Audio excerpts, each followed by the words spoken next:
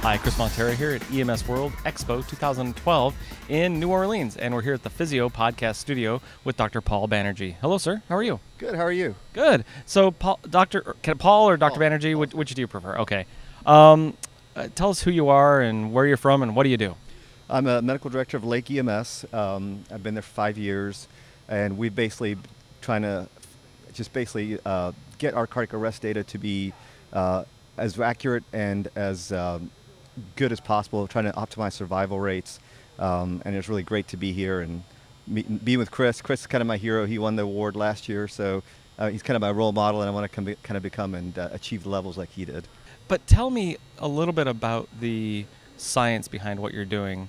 We had talked a little bit about um, the idea of doing stack shocks and, and what kind of success rate you've had. But it's more than just shocking and, and getting rid of innovation. There's, there's a whole science behind that. Briefly describe that for me. Uh, what it do is it's basically change the culture of cardiac arrest. Uh, what we're doing for cardiac arrest, we're doing non-rebreathers, we're doing continuous CPR. Uh, if you have to intubate and you need an airway, you get a king tube. Uh, the goal is to minimize time off the chest. We want a CPR fraction of about 90 percent.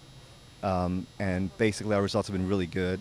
Uh, our Utstein VFib ROSC up at 71%, um, and our overall uh, VFib ROSC for the compression only is about 69%. So numbers are really good. Um, our therapeutic hypothermia results from last year, our VFib survival to discharge of 54%. Um, our overall survival discharge is 26%. We really want to incorporate everybody. We had 18% of PEAs and asystole go home neurologically intact these are things that most people don't track because the numbers look bad. Um, and it's not about the numbers, it's about doing the right thing for the patient. So we really want to go out of our way to give everyone a chance to survive. We give them every tool possible, maximize times on the chest.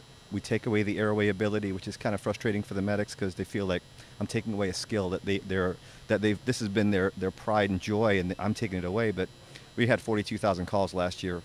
We had 350 cardiac arrests. I just took it away for the 350 cardiac arrests. And bottom line, we're here for the patient. We're not here for our own ego and self. And results have been pretty good, and I'm very proud of what the job that they've done. That's excellent. And so you were also saying that when you do the stack shocks, you do 360, 360, 360, and then 720. How do you achieve 720 out of a machine that only goes to 360? Well, what we did was there's a thing called refractory ventricular fibrillation, and there's shock resistant ventricular fibrillation. The definition is that if you have three shocks that fail at 360 joules or whatever joules you start off with, that's refractory or shock resistant VFib. 20% of patients have that. With the 20% of patients, if you continue along the same path, you're doing them no service and they're going to die. So if you did study the physiology of cardiac arrest in medicine, it's the amount of current you inject through a person is the ability to re redirect or correct an arrhythmia and make it from unstable to stable. So the, the equation is current is equals voltage over impedance.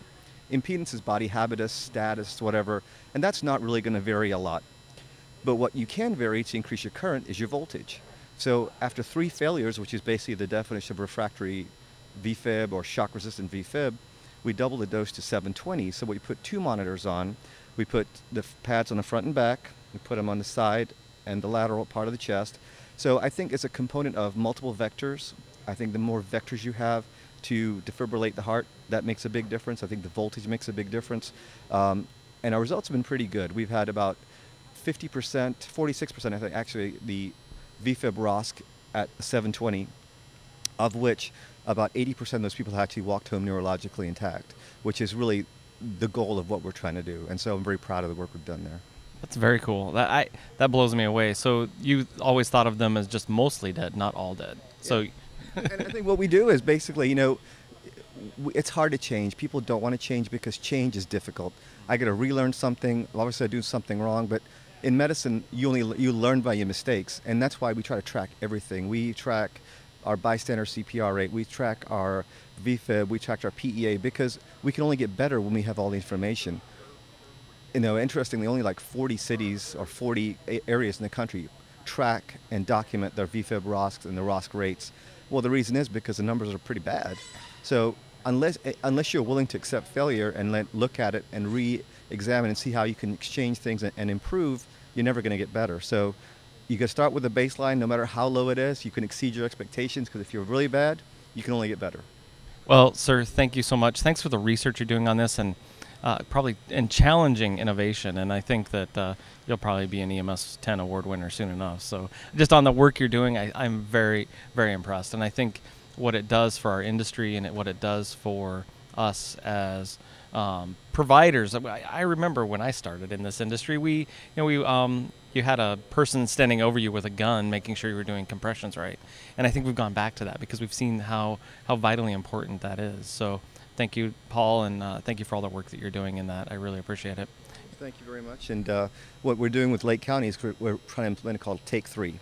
We want to make it simple as possible. With sudden cardiac arrest, 60% of them are witnessed.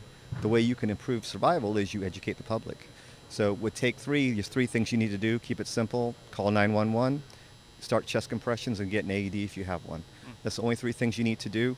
Um, and just make it simple. Give them something. We're doing a lot of community classes. We have a lot of elderly people. We can educate them. They can make a big difference and hopefully affect the lives of people. And thank you so much for everything. Very cool. So, Paul, where can people find out more information about your program or about this uh, this idea in general? Um, well, I'm at lakeems.org. Uh, my email is pbanerjee, B-A-N-E-R-J-E-E, at lakeems.org. Feel free to email me. We'll be happy to t- teach, present, uh, provide any information you need. You know, whatever we can do to help, we're more than willing to do so. Great. Well, thank you, Paul. I appreciate it. And thank you for joining us at the Physio Control Podcast Studio here at EMS World Expo 2012.